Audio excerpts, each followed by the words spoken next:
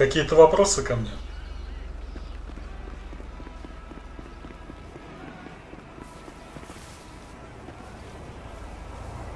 Людей откидываешь. Что это такое?